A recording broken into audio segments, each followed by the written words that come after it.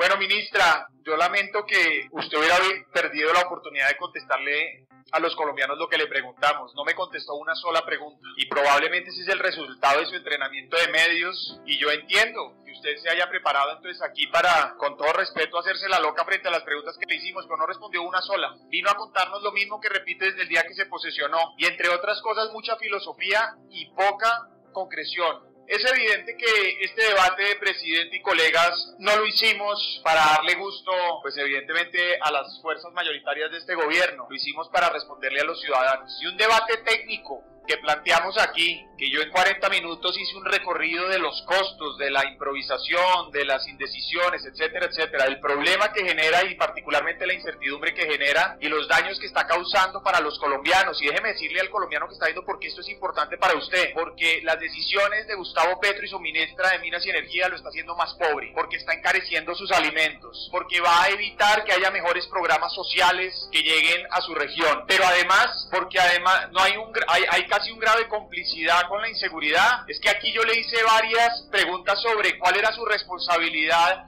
para garantizar las condiciones de operación de las minas formales y de las petroleras formales y no una sola mención a eso. ¿Cómo es posible que en Pozos, en San Vicente del Caguán, hubiéramos tenido un asesinato y un secuestro masivo, así lo quiera llamar el Ministerio del Interior, un cerco humanitario? ¿Cómo es posible que Rubiales y Kifa estén bajo la misma situación y tengan esa preocupación? ¿Cómo es posible que Tami, Saravena, Pozos de Parex estén cerrados? Y aquí que está el viceministro, le diría a usted, por favor hagan algo, recuperen el orden y la libertad, como dicen los, los gobernadores y los colombianos, y no una sola mención de la ministra al respecto. Pero además le pregunto, ¿van o no van a importar gas de Venezuela? Silencio. ¿Cuál es el estudio que tiene para decirnos cómo es la transición justa? Silencio. Le pregunto a usted, esos condicionales que ustedes mismos plantean, la diversificación de exportaciones, la baja dependencia de combustibles fósiles, etcétera, etcétera, cero, no hay una sola respuesta. Pero además, le quiero preguntar, aquí insiste usted en que no va a frenar la exploración, pero no lo dice en los, en los contratos vigentes. ¿Sí o no va a haber nuevos contratos de exploración de petróleo y gas? ¿Sí o no esta, esa decisión aplica para Ecopetrol o solo para la ANH y privados. ¿Sí o no quieren marchitar esa empresa y finalmente terminar concentrando todo en Ecopetrol? ¿Sí o no van a ser una empresa pública de minería para estatizar la minería? Hablan aquí colombianos con la desfachatez de insistir en que defienden el medio ambiente, pero resulta que les fascina la minería que usa mercurio. La misma minería, la misma ley prohíbe el mercurio en la minería formal.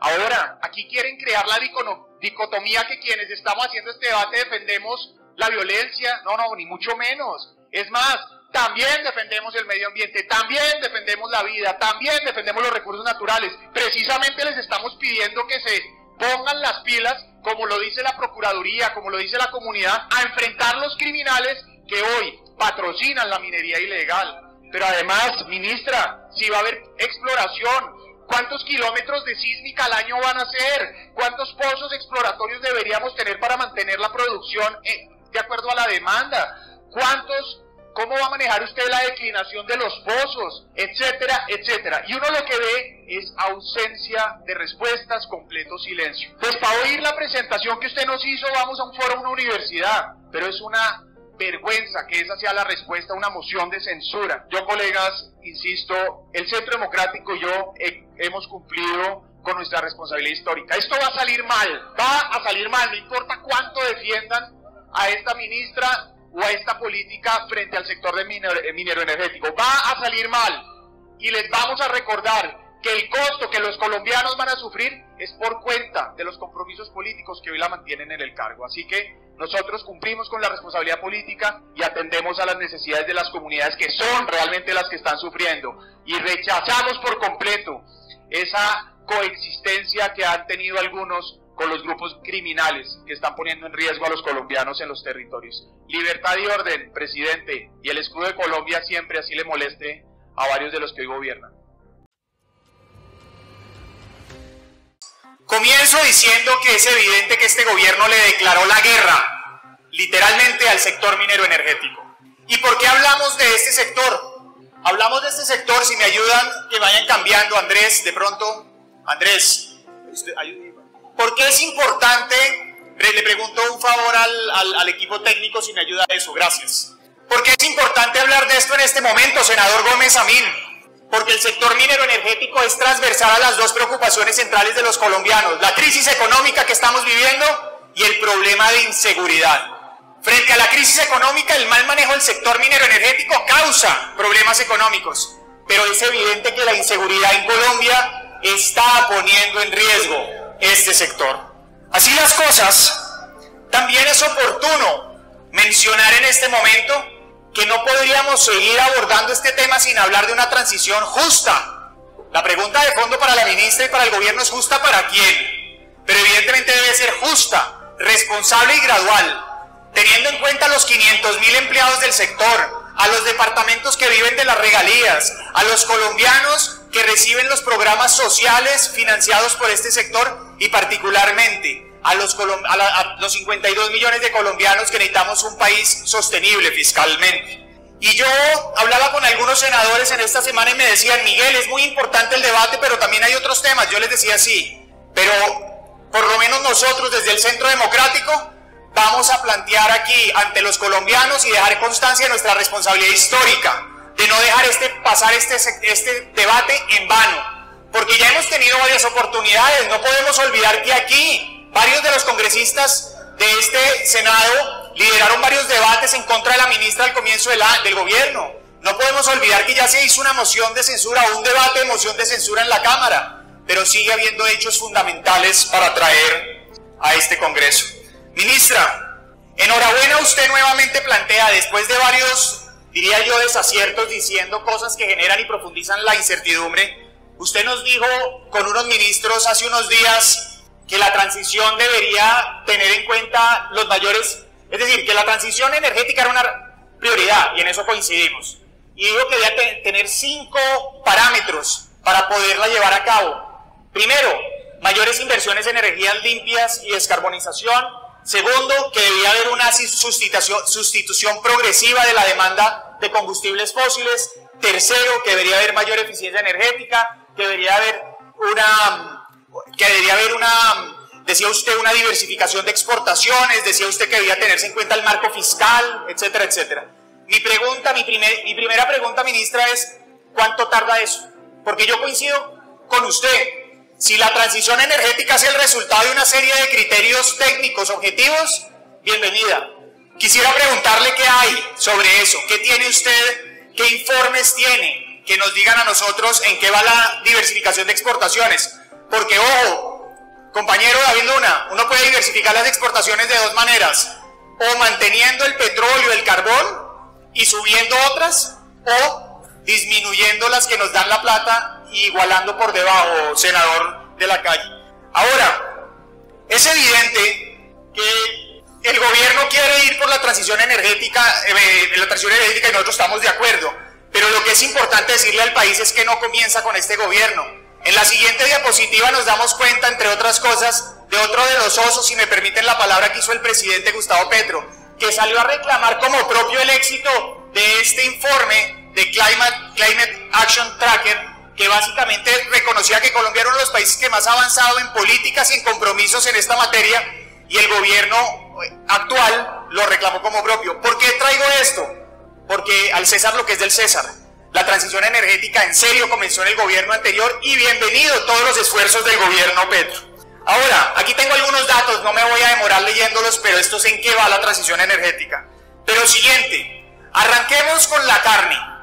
Aquí el gobierno, especialmente la ministra y el presidente, nos ha metido en un falso dilema, colegas, en si hay que promover el sector minero energético o si hay que combatir el cambio climático. Mi posición es que los falsos dilemas, senadora Lozano, no son útiles para la política pública. Los falsos dilemas nos ponen entre dos posiciones absolutas que nos hacen imposible tomar decisiones con base en evidencia. Y por eso lo que hay que entender es realmente la dimensión del dilema que nos está planteando el gobierno. Así las cosas, para que entremos en materia y veamos la proporción, yo quiero que tengamos todos claros que Colombia hoy produce el punto 3% del gas natural a nivel mundial y consume lo que produce. Punto 3. Del petróleo produce aproximadamente el 0.8% y consume el 0.4%. Del carbón produce menos del 1, podría estar entre el 0.8 y el 1 y consume el 0.1. Pero además, si habláramos de emisiones, es evidente que Colombia representa entre 0.2 y 0.4 emisiones por ciento de las emisiones de carbono en el mundo. Y de Colombia, el 1% las producen estos sectores. Por ende, como ustedes ven en la columna de la derecha, el gas, el petróleo y el carbón, básicamente en las emisiones que producen son completa, en la producción son completamente, diría yo, irrelevantes para la generación de emisiones de carbono a nivel mundial. Ahora, si habláramos de agua, ojo a esto, la demanda de agua, y el petróleo representan entre ambos casi el 3% de la demanda de agua. Y en la huella hídrica azul sectorial, es decir, el agua que toman y no devuelven, el petróleo y la minería representan más o menos el 2%. Hay otros sectores que representan esa demanda o esa huella hídrica. Ahora, eso no quiere decir que hay que perseguirlos, quiere decir que hay que entender la dimensión de la del debate en el que estamos. Y entonces, así las cosas, lo que hay que decir es que pase lo que pase con Colombia, el mundo entero va a seguir utilizando por lo menos hasta 2050, como ven aquí, la producción de carbón y, petróleo. Entonces, yo todavía no entiendo el afán de este gobierno de pegarse un tiro en el pie, si se quiere, cuando el mundo entero no lo está limitando. Es más, colegas, este dato es fundamental, senador Amin. Hay 28 países en el mundo que producen más de 400 mil barriles al día de petróleo. 28, solamente 28.